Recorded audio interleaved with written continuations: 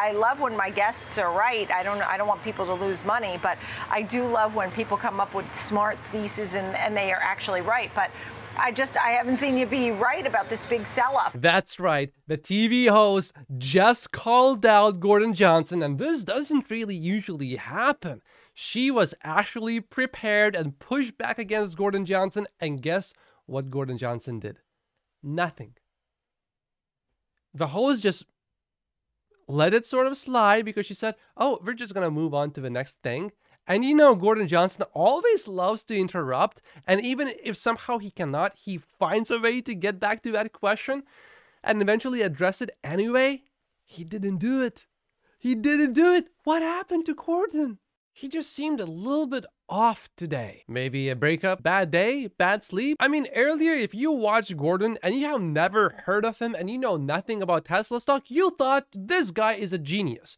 But this time, there's no way you would have come away with that conclusion because he just didn't get back to that question. This one was a fun one. Let's dive in. Let's welcome in our guest, Gordon Johnson, CEO, founder, GLJ Research. Thank you for being with us. Was Gordon warming up? What was this all about? You've been on with us for years, and uh, people who don't know you are a notorious bear when it comes to Tesla. Tesla came out with its quarterly numbers. In fact, these were records. The China sales, second best ever. Somehow during this video, there were a few beeps going on like that. I think really it's just an alarm going off over at TD, alarming all of us. Oh, Gordon Johnson is about to tell a lie about this particular fact. In for wholesale numbers in March, um, but what say you? I know you didn't like something. Tell us. Look at that smile. She knows exactly what Gordon is about to do. Yeah. Hey, Nicole. I, I thanks for having me. Good to see you. you look great. Um, I, I, don't see us as a, a perma bears or bears. I just see us as realists. Deep down, I actually wonder is Gordon Johnson possibly a huge Elon Musk fan? I have some evidence. Check this out. His average return per Tesla stock rating is 69%. I'm not kidding. This is real. Minus 69%, which is Elon's favorite number. Maybe Gordon is actually bullish. Maybe he actually wants to buy Tesla stock. He's just helping us punish Tesla stock make it go down, and then we can buy cheaper. Numbers started out in the quarter. The street estimate started out around 438. It came down to around 430. They did roughly 423.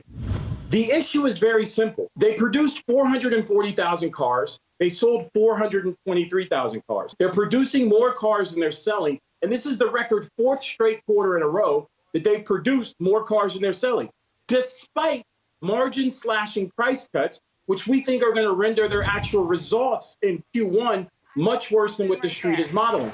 Um, so, so that's right the there. fundamental issue. And, and, keep in mind, their factories are operating two factories in? at 20 to 40 percent yeah. utilization. Classic Gordon Johnson, ignoring the person trying to ask you a question as if that person does not even exist. And they shut down the Shanghai factory multiple times. They just can't sell what okay. they're producing. Okay, so because you and I have spoken before, I prepared mentally for you to say. Did you catch that? I felt genuine pain and frustration in her voice. She's like, ah, I'm going to speak to Gordon Johnson today. Hmm. I need to prepare. I don't like to prepare for this one because it's just so ridiculous, but I have to this time. They're not delivering as many cars as they produce said Gordon Correct. Johnson every time he comes on. The shots have been fired. So I looked at the 2022 production and deliveries. They weren't that far off from each other. Um, you tell me, okay? I know you study this every day. Okay, we went from shots fired to now dropping bombs. Deliveries were 1.313 million, and production was 1.369 million. Okay, so I know there were more produced than delivered, but not that much more. And it's my understanding demand is still very prevalent for Teslas. Yeah, so so Nicole, just think about it, right? Let's say you're gonna go buy a Porsche. Uh, except you won't because the deal on a Tesla is much better than the deal on the Porsche. And the price is hundred thousand dollars, and they cut the price by twenty percent. which is, uh, we, we believe the average price cut for Tesla this quarter is around 15%. The demand response will be massive. It's called elasticity of demand. When you cut price, the demand is supposed to at least match the price cut. They've cut prices roughly 15% in the first quarter. The, the, the, the deliveries are up just roughly 4%. So you can't look backwards. You have to look forward, given all this competition coming. Yeah. So the fact that they're, they're, the, the demand response isn't matching the price cut, despite the fact that their plants aren't running at full utilization, this is just a car company that has that is do, engaging in margin slashing price cuts. We believe they're going to have to cut prices again imminently, um, and we think that's going to result in significantly lower margins. It's just a car company that's having to compete.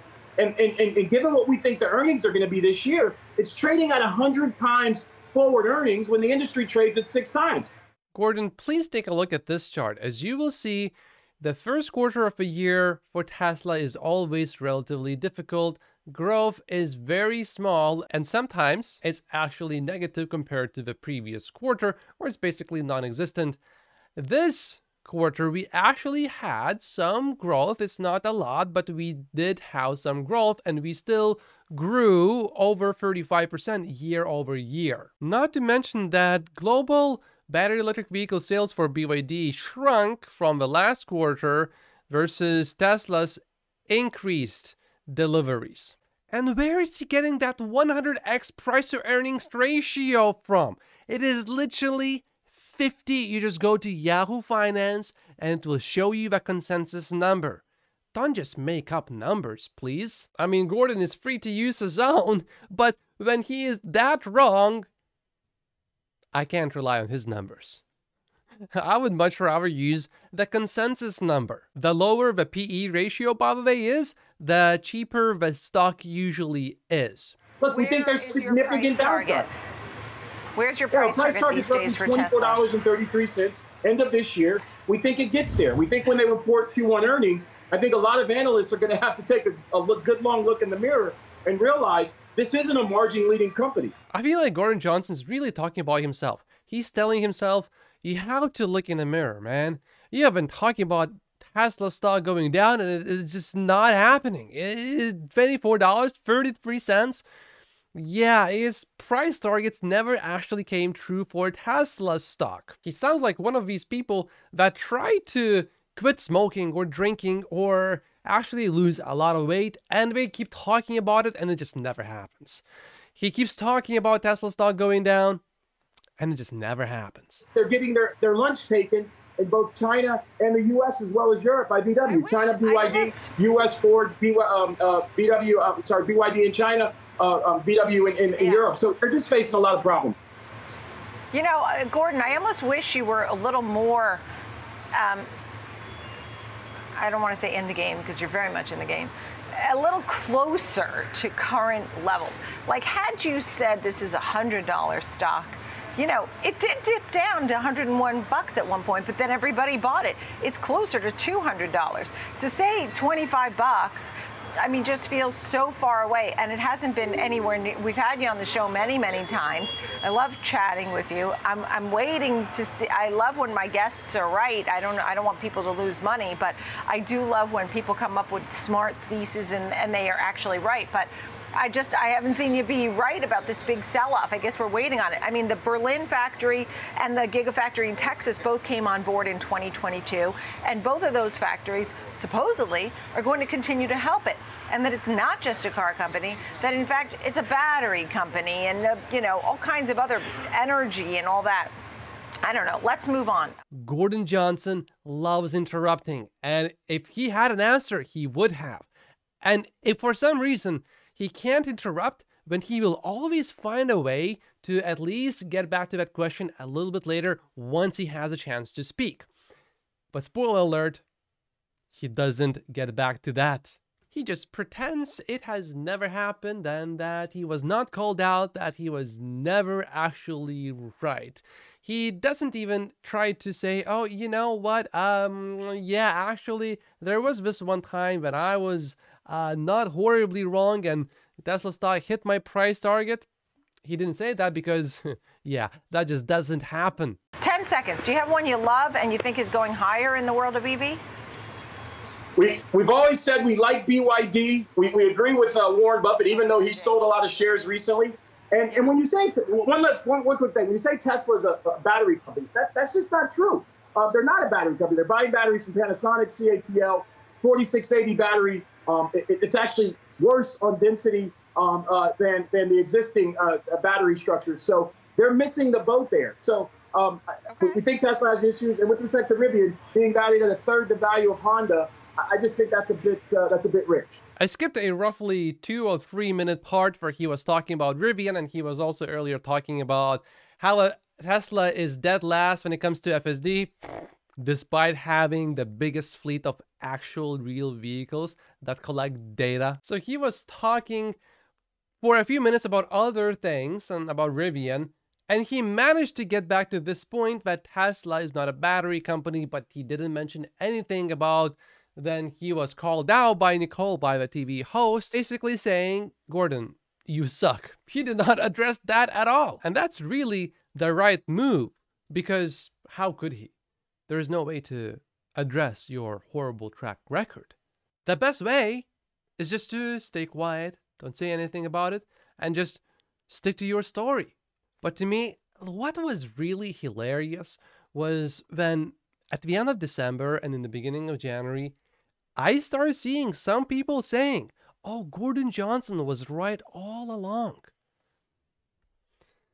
Even a broken clock is going to be right twice in a 24 hour period. And Gordon Johnson is that broken clock about Tesla stock. If eventually, somehow, Gordon Johnson actually ends up being right temporarily about Tesla stock, it will be purely because of luck, not because of accurate predictions and Gordon's skill. I am still absolutely stunned that back in early January, some people actually believed that he was right all along. It just shows how easily people can sometimes be influenced then they are experiencing certain emotions and then someone is predicting, yeah, actually, with a feeling that you have that everything is horrible right now for Tesla stock, and you think, yeah, it's only going to get worse. That's right, it's actually going to get even worse. I sort of get why people felt like that, but that's just so illogical. It saddens me very deeply that it actually worked But that's how the world works, I guess. We are all human beings. But this is the Tesla stock buying opportunity explained by Elon Musk. So if you think that Gordon Johnson is right, well, maybe watch this one first. And if you don't think that he's right, watch it anyway. Or this one is a pretty good one. I'll see you there. Thank you so much for watching. My name is Matt Pocius, and I'll see you right here.